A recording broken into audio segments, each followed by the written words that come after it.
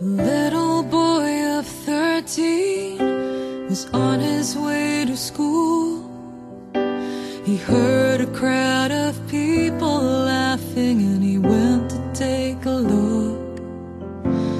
Thousands were listening to the stories of one man.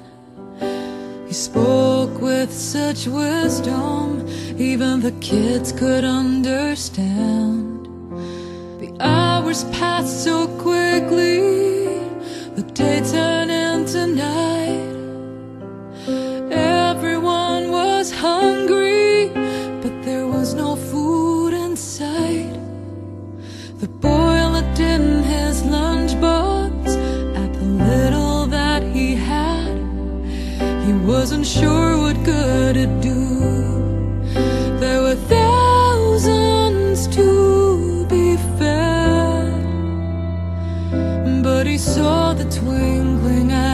Of Jesus, the kindness in his smile, and the boy cried out with the trust of a child. He said, Take my five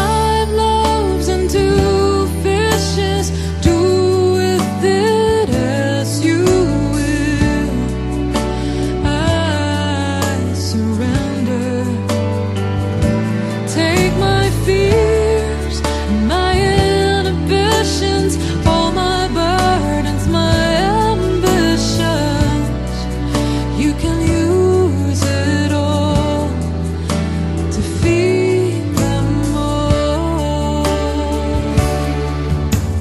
I often think about that boy when I'm feeling small,